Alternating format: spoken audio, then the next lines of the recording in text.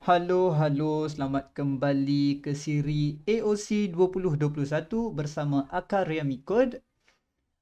Okey, so untuk uh, kali ini kita akan cuba menyelesaikan uh, challenge hari ketiga. Okey, sebelum kita teruskan kepada video ini, pertama sekali saya nak minta maaf lah. Sebab pada video yang lepas, pada video challenge 2 tu kita ada sedikit technical problem. Saya tak tahu kenapa video rakaman saya jadi lagging macam tu. Uh, harap masalah tu tak jadi lagi lah untuk video kali ni. Okay, um, so tak pun buang masa kita terus ke uh, challenge ketiga. Okay, day 3, binary diagnostics. Dino, diagnostic. Ah, okay. Oh, kita main binary pula kali ni. So, kita ada diagnostic report, ada list of binary. Okay, kita ada list of binary. So, pertama sekali kita nak check power consumption. Okay. So, dalam diagnostics ni kita kena generate dua binary number. So, daripada list of binary number tu, kita kena pakai dia untuk generate dua lagi binary number. Uh, yang mana dia panggil gamma rate dan juga epsilon rate. Okay. So, nak dapatkan power consumption, kita kena darabkan gamma rate dengan epsilon rate. Okay. Uh-huh. Okey, nak dapatkan gamma rate, kita kena cari most common bit in corresponding position of all number in diagnostic report. Okey, so kat sini dia ada contoh, dia ada berapa ni? Uh, dia ada 12. Dia ada 12 binary number di mana setiap satu binary number ni panjang dia 5 bit. So, there are 5 0 bit and 7 1 bit. So 5 5 7 12 oh, okay okay okay.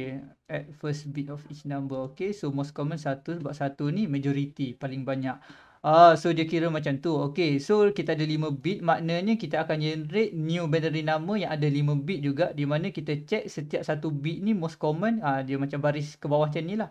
So kalau kita tengok pada bit pertama untuk setiap binary ni. kita Kalau kita kira kita ada 1, 2, 3, 4, 5, 0. Di mana ah, kita ada majority 1 lah pada bit yang pertama ni. So untuk gambar rate ah, bit pertama adalah 1.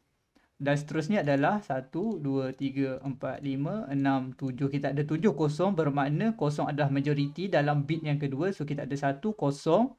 Ini kalau saya tengok pun macam 1 paling banyak. So kita ada 1, kosong, 1. Ini uh, 1, 2, 3, 4, 5. Kita ada 5 kosong. So uh, pada bit keempat pun 1 masih majoriti. Dan bit terakhir 7 paling banyak. So kita ada 1, kosong, 1, 1, kosong. Yang kita baca. Oh, okay, betul. Untuk gambar rate kita ada 10110. Yang mana kalau kita uh, convertkan dia kepada base 10. Okay, decimal number kita dapat 22. Uh, untuk epsilon pula. Okay, kita similar way. So, kita kira ke bawah macam tu juga. Tapi Instead of most common, kita pakai least common. So, maknanya kalau kita check balik kat sini, disebabkan satu majority paling banyak, maka bit pertama bagi epsilon adalah kosong lah sebab dia ambil yang minority, yang paling sedikit. So, um, okay. Maknanya daripada gamma rate ni, kalau kita dah dapat gamma rate, actually kita sebenarnya dah dapat epsilon rate. Di mana daripada gamma rate ni, kita hanya perlu flipkan kita punya binary number ni flip lah. Maknanya satu ni jadi kosong kosong dia jadi satu. So kita dapat kosong satu kosong kosong satu. Seperti yang kat bawah ni. So convert kepada decimal number kita dapat sembilan. Next kita kena darabkan gambar rate dengan epsilon rate. So sembilan darab dua puluh dua ni. So kita dapatlah power consumption iaitu satu sembilan lapan yang mana itu adalah task kita iaitu mencari power consumption. So kita get puzzle. Control A control C. Uh, boleh tutup dapat yang ni Then kita buka kita punya ni, paste ke dalam ni. So kita ada hulam, kita ada seribu binary number di mana setiap satu binary number kita ada satu, dua, tiga, empat, lima, enam, tujuh, lapan, sembilan, sepuluh, sebelas, dua belas. Dua belas bit. Dua belas bit. Okay. So uh, kalau korang tengok di sini saya dah uh, siap tulis apa ni. Uh, nak baca kita punya input file ni. So basically saya import .s di mana uh, first kali saya mencari directory yang mana um, uh, script ni uh, berada. So dalam case ini script main py ni berada dalam directory D03. So first saya cari dulu directory dia dan saya joinkan address directory ni dengan uh, input txt. So uh, senang untuk saya uh, untuk elakkan error yang mana error yang kita dapat pada video yang lepas lah. Yang tiba-tiba tak jumpa file tu kan. Okay. So um, kita nak kena buat adjustment sedikit dekat sini. Uh, okay ini disebabkan uh, semua ni adalah binary di mana kita boleh terus daripada data ni saya buat list compression di mana saya akan tukarkan uh, data yang kita baca tu kepada uh, integer base 2. So for x in file. Okey, dalam kes ini dia akan baca setiap baris dalam file ni. Okey, setiap baris dalam file ni dia akan baca dan dia akan return string lah. Okey, x ni ada string.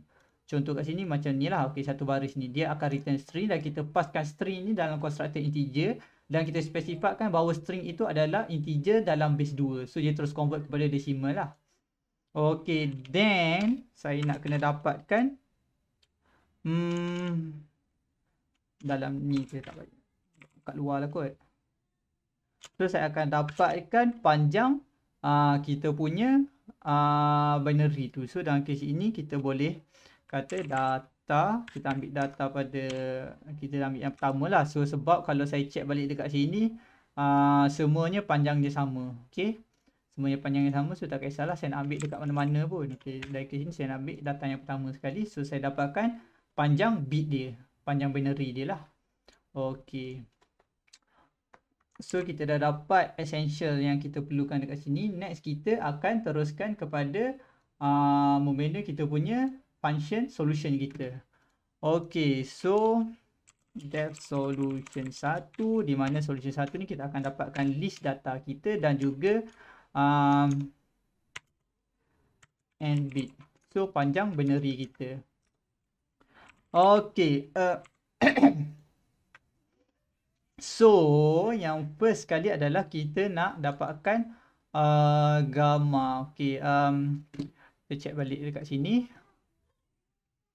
So, kita boleh loop setiap satu daripada binary number ni dan kita check satu persatu. Hmm, tak juga sebab kita ada lebih kurang seribu data. So, kalau kita pakai loop, maknanya kita punya sistem jadi lambat lah sebab dia nak kena loop untuk seribu ni sebanyak lima kali seribu data sebaik lima kali nampak tak? Sebab dia nak kena ataupun saya boleh transpose kan. Transpose pun takut hmm, pakai nampai. Hmm, macam mana nak buat? Okay, uh, since benda ni adalah binary, apa kata kita cuba eksperimen sikit menggunakan uh, bitwise operator. Okay, since kita buat kerja dengan binary kan, kita try eksperimen dengan bitwise operator. So, first kali saya akan specify uh, kita punya variable gamma rate di mana kosong lah initial dia.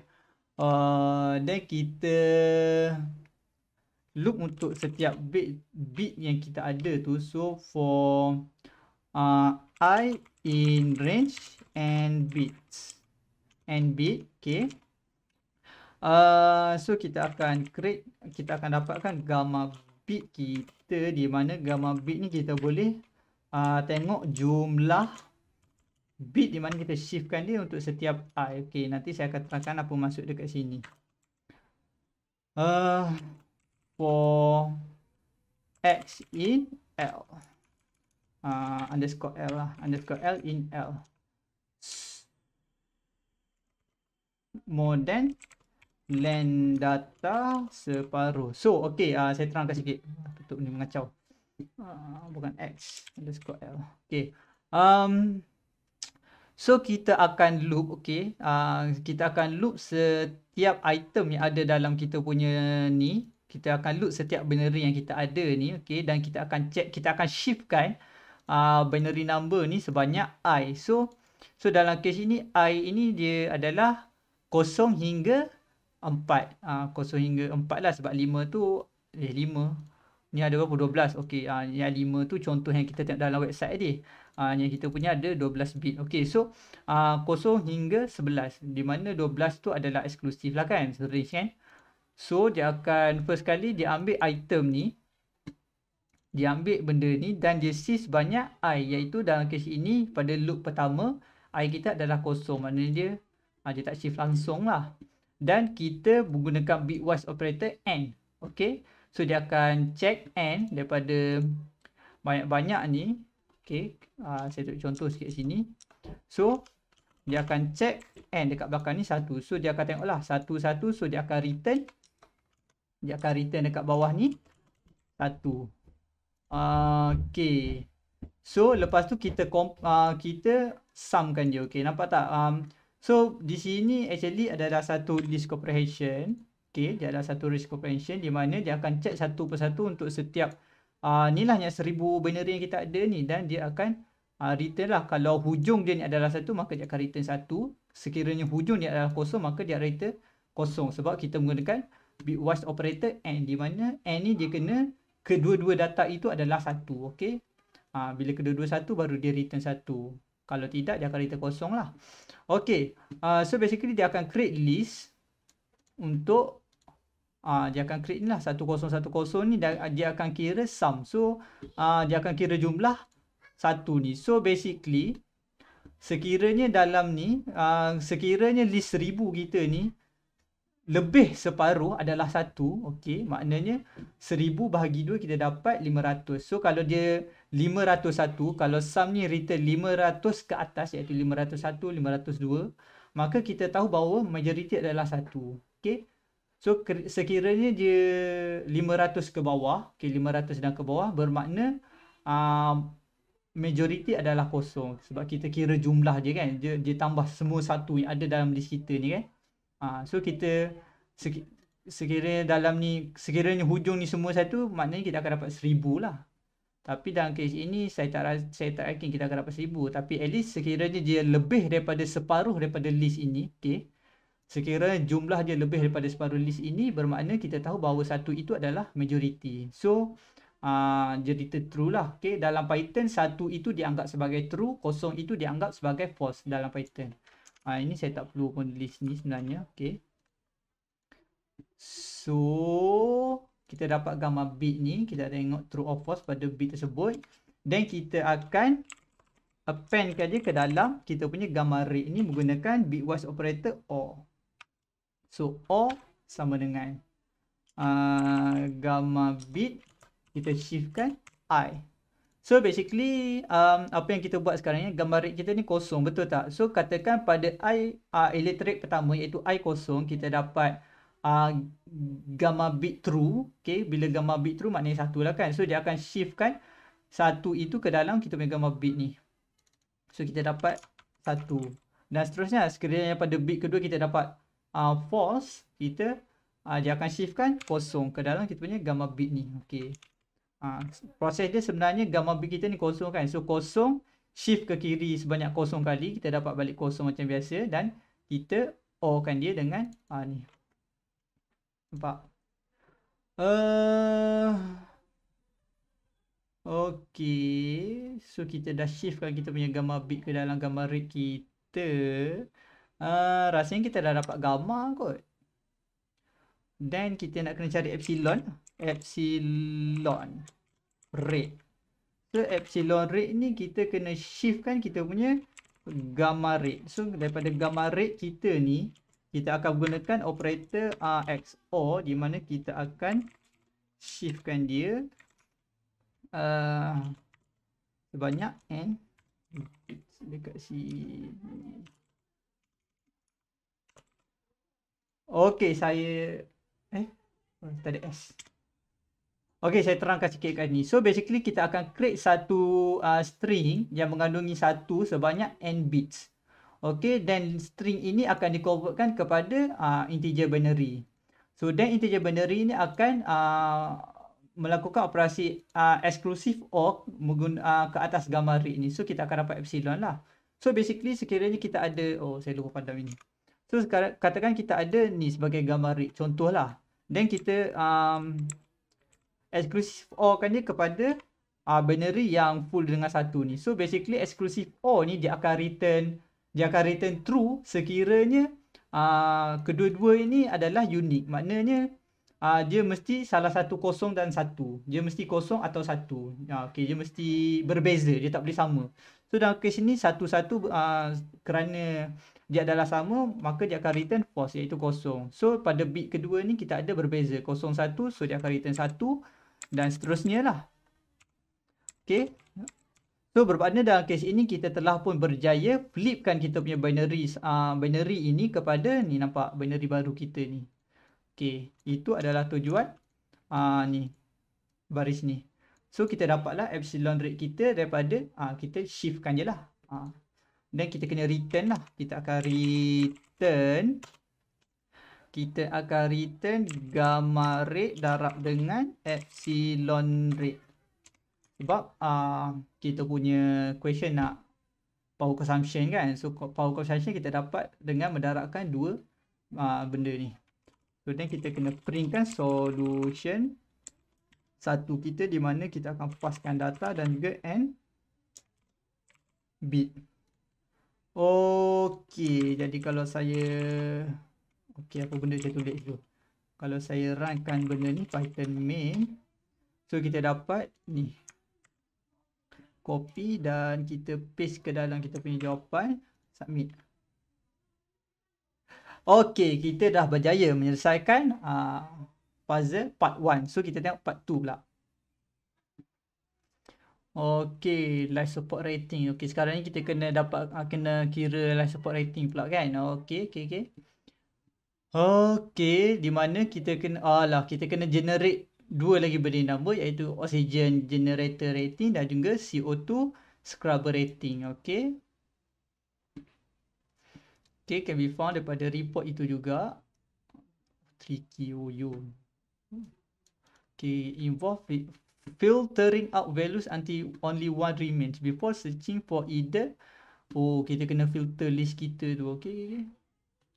So, untuk dapatkan ni, kita kena Keep only numbers selected by bit criteria for the type of rating value for which you are searching. Discard number which do not match the bit criteria. Okay, yang mana tak match kita kena discard lah. Okay. If you only have one number left, stop. This is the rating value for which you are searching. Okay, so kita kena filterkan dia sampai kita jumpa satu binary number je. Okay. Otherwise, repeat the process. Uh, okay. Considering the next bit to the right. Okay, okay, okay, okay. So untuk oxygen generator kita akan dapat most common value. Okay, okay, okay. okay faham. Untuk CO2 kita dapat least common. So, kita baca sikit penerangan ni untuk lebih faham. So daripada 12 nombor contoh yang dia bagi tadi. So yang first kali there are one bit seven dan zero okay so keep only seven number which one oh, okay so kalau kita tengok balik pada list dia ni diakibatkan satu ni adalah majority maka ni kita hanya ambil uh, bagi nama yang majority ni lah so mana yang kosong-kosong ni kita discardkan dia so dalam kes ini daripada 12 binary sekarang kita hanya tinggal 7 binary dan kita tengok pada bit kedua uh, dalam 7 binary tersebut kita akan compare uh, yang mana paling banyak dalam kes ini kita ada satu dua, tiga. So, tiga daripada tujuh nombor. Bermakna majoriti pada uh, case apa daripada list kedua kita ni adalah kosong. Bermakna kita akan discard yang ada satu. So, dalam kes ini kita hanya tinggal uh, satu, dua, tiga, empat. So, kita tinggal empat je lah. Tinggal empat binary number.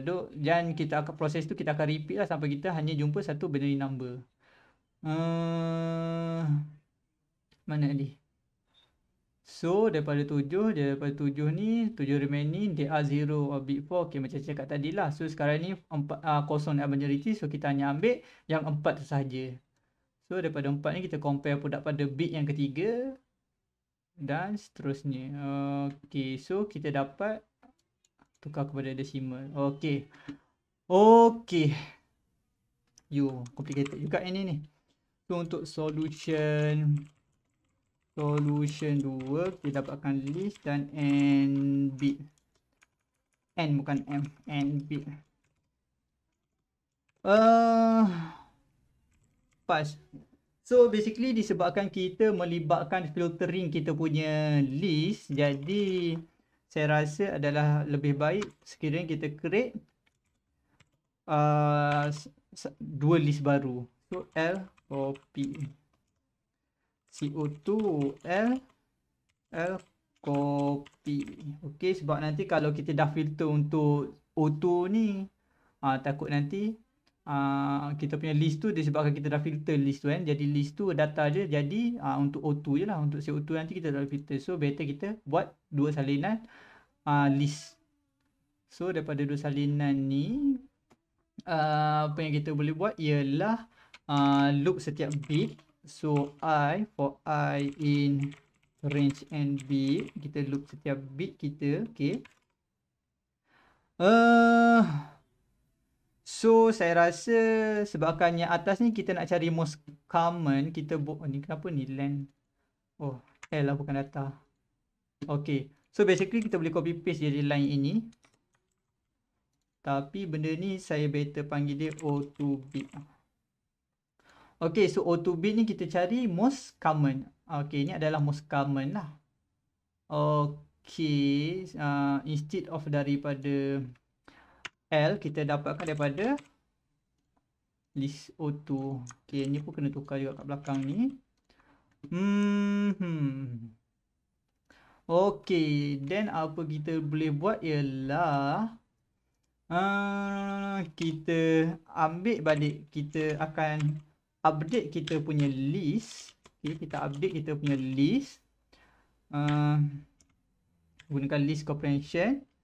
Uh, L for uh, underscore L in in O2 if okay kita ambil balik item daripada senarai O2 kita tu if if dia adalah dia adalah ini dia adalah sama dengan O2 oops O2 bit Okay, so apa maksudnya di sini adalah okay. Uh, pada baris ini kita akan dapatkan most common. So je kita akan tengok apa yang paling common, apa yang apa yang majority, ada adakah satu ataupun kosong, okay. So katakan majority adalah satu. So dalam kes ini kita akan update balik kita punya list ni di mana kita akan assignkan dia kepada uh, list compression kita ni di mana kita kutip balik item daripada list O2 kita, okay. Kita kutip balik item daripada list O2 kita. Sekiranya okey sekiranya item itu bit item itu adalah sama dengan kita punya auto bit ni. Sama dengan kita punya majority okey? Ha, kalau sama baru kita masukkan dalam kita punya list ni. Kalau tak sama maka ia tak terima lah dia akan discard ha, so dalam kes ni kita dah update kita punya list dan saya rasa uh, okey daripada ini kita boleh letak if len len O2L adalah satu. So sekiranya hanya tinggal satu item saja daripada list ini maka uh, kita akan break daripada kita punya loop. Uh, kita akan break daripada kita punya loop.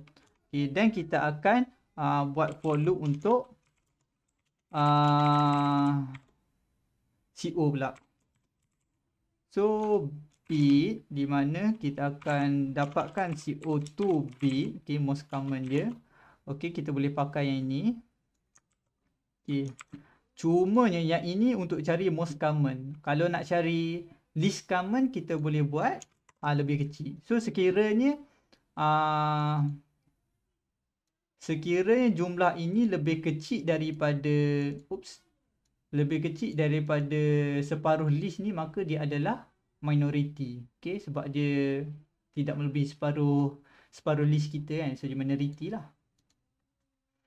So kita dapatkan minority dan kita update kita punya list balik so CO2L do kita update. Saya rasa kita boleh pakai yang ni je. Di mana ni kita tukar? Ini kita pakai CO2 bit so Okey, kita dah update balik. Kita punya list.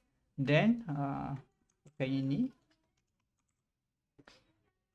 If list CO2 kita ni adalah satu maka kita akan beri dan kita akan return kita akan return uh, O2L darab dengan CO2L pada nilai kosong. Okey. Uh, sebabkan dia adalah satu list maka kita kena kita nak darab item dalam list tu. Kita bukan nak darab list. Sebab tu ada bracket petak kat belakang ni. Uh, basically kita dah selesai kot uh, solution 2. So kita try printkan solution 2. Clearkan yang ini dan run kan. Uh, oh eh, hampir-hampir ni betul ke seram pula ni. So kita copykan untuk solution 2 ni. Uh, dan kita pastekan dalam ni submit. Will be right back. Ay, what happened? uh, uh, dia update website dia masa kita tengah buat video ke apa ni? Okey, dia nampak gayanya website ni tengah update. So, nanti bila website ni back back online, saya akan update lah. Sama ada jawapan kita ni betul atau tidak. Okey, um, so uh, lepas saya baca balik uh, soalan yang dia bagi ni, okey, ada sedikit minor adjustment yang saya dah buat dalam kod kita. Okay, nanti saya tunjuk. Okay, yang pertama sekali, apa yang saya terlepas pandang ialah uh, dia kata dekat sini untuk O2. Mana dah tadi? Uh, untuk auto sekiranya uh, bilangan 0 dan 1 tu sama equal maknanya kita ada 5051 contohnya. Jadi kita akan prioritize 1 dan untuk CO2 ni pula sekiranya uh, 0 dan 1 ni bilangan dia sama 5051 contohnya kita akan prioritize 0 so dalam kes ini dalam kod kita ni saya ada tukar sedikit okey. So um, yang asal sini sama dengan uh, lebih besar je. Jadi saya tambah lebih besar sama dengan so sekiranya dia bilangan dia sama ataupun lebih daripada separuh itu maka dia akan return true. Yang bawah ni tak ada tak ada apa-apa sebab uh, sekiranya dia lebih kecil makanya dia return false uh, dia return true lah. Um, apa lagi dalam ni?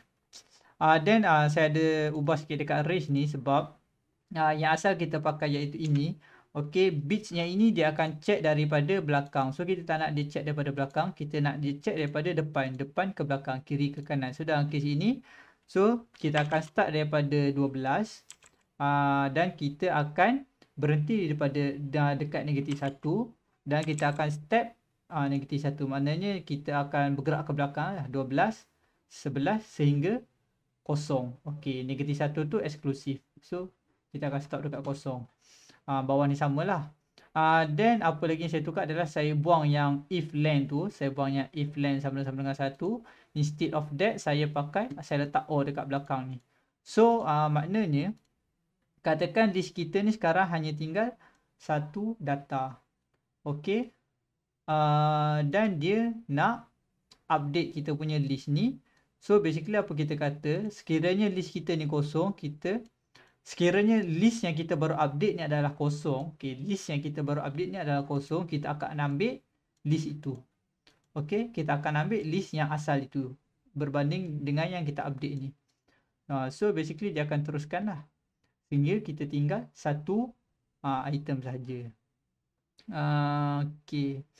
Um, apa lagi? Uh, okay, satu lagi adjustment yang kena buat dekat sini. Saya perasan dekat sini. Okay, dalam case ini, uh, data pertama ni okey tak ada masalah lah kalau kita ambil data pertama. Tapi kalau kita ambil data kedua ni okey dia akan return 11 sebab kosong ni dia akan discard. Dia akan jadi macam ni. So dia akan ada 11 bit je lah. So alamak. Uh, mana ni? Uh, get puzzle input. Oops oops oops. Control A control C. Uh, control V. Okey um, So dalam kes ini, uh, apa yang kita boleh buat adalah kita akan menggunakan built-in function yang ada dalam Python iaitu max. Max uh, bit dot bit length uh, bit l e n g t h length for bit in data.